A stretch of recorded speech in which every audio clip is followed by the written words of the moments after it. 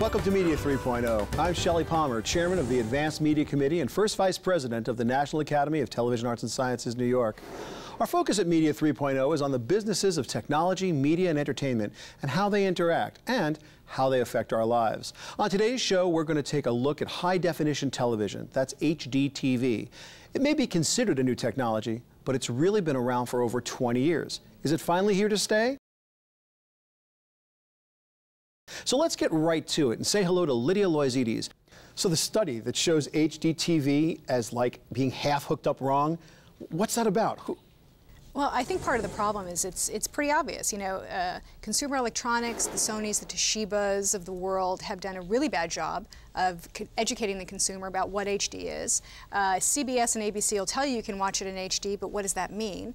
Um, you know, you have a whole yeah. Half that study was 23 something percent of the people didn't even know when they said this program brought to you in high definition. They, they thought they were watching high definition, even at though at that moment. Right, right. right that so second. that's part yeah. of the problem. So you know, you have this whole massive consumer base watching television. They've been watching television since the day they were born, and now all of a sudden we're telling them they watch it in HD, and they're thinking, okay, I'm watching it in HD, but they're not. That's crazy. We have some research? We have some research. Let's look.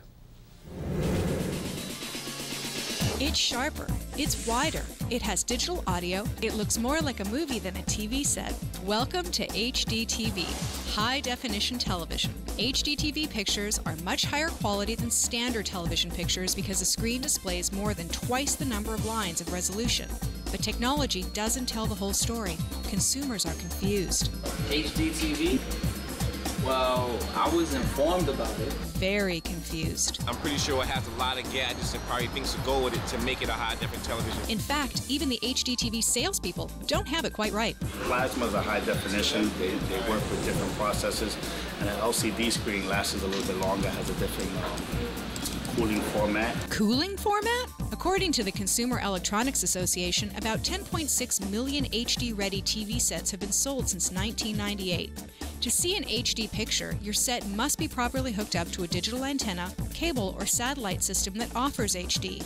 Then you only see HD picture quality on the HD channels. Everything else you watch, even on an HD set, will still be standard definition.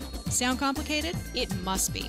Because according to a recent study by Leichtman Research, 56% of HD TVs in America are not properly installed, and the owners of these sets don't even know it. 23% say that the picture on their new flat screen looks better, and 26% think that when a program announces that it's broadcast in HD, they are automatically watching an HD TV show.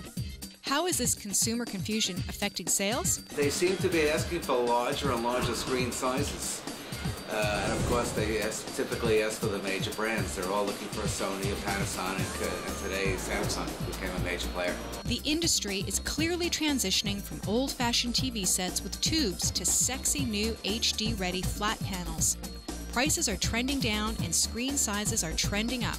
So, HD, ready or not, here it comes. I'm Shelly Palmer. We'll see you next time.